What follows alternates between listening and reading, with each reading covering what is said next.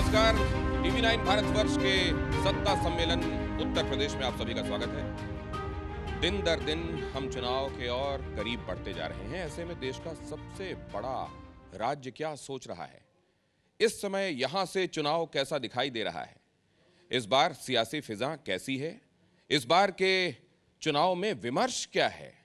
इस बार किस political party की तरफ़ जनता देख रही है?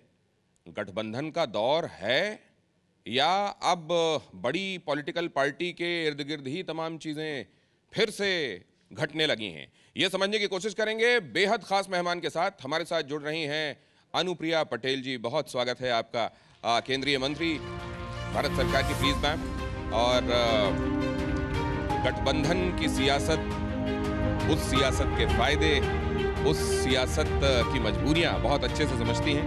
मैम, प्लीज़ बहुत स्वागत है आपका। आपने वक्त निकाला इसके लिए बेहद धन्यवाद आपका। और सबसे पहले तो मैं यही समझना चाहता हूँ कि गुलाबी सर्दी शुरू हो गई है सियासी तापमान कितना बढ़ रहा है?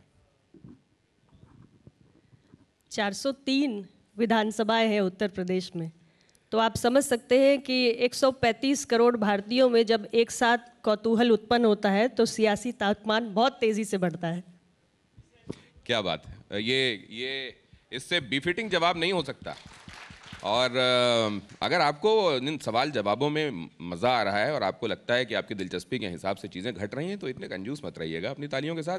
केंद्रीय मंत्री आपके बीच में है और क्या खूब जवाब दिया है उन्होंने इस बात का मैम। लेकिन अ, ये बात तो सही है कि कौतूहल है लोगों में लेकिन बड़े सस्पेंस थ्रिलर की तरह इस समय मामला चल रहा है। मतलब वो तो कौतूहल बहुत ज़्यादा बढ़ा हुआ है। आप लोग बहुत अच्छा डिकोड कर लेते हैं।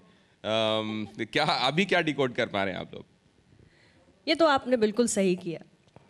हम में से वो सारे लोग जो पाँच साल तक निरंतर जनता के बीच में बने रहते हैं असल में जनता के मन में क्या चल रहा है ये समझने में हमारे जैसे लोगों को और हमारे जैसे कार्यकर्ताओं को थोड़ी आसानी तो होती है। हम भविष्यवक्ता नहीं हैं लेकिन फिर भी इतना ज़रूर समझ सकते हैं कि जनता हमारे पाँच वर्षों के संघर्ष को देखते हुए मन से हमारे साथ खड़ी है। अब ये अ, ऐसा क्यों है कि उस दौर में जब सरकारें अपने अच्छे काम के दम पर रिपीट हो रही हैं पहले ये कहा जाता था कि गवर्नेंस अलोन बड़ा मुश्किल होता है। आप डिलीवर कीजिए बेशक अपने मैनिफेस्टो के हिसाब से ज़्यादा दे दीजिए लेकिन मुश्किल होता है। लेकिन अब सरकारें रिपीट होती हैं अच्छे काम देखने के बाद जनता रिपीट करती है। उसके बावजूद अगर सस्पेंस रहता है तो ये क्यों होता है?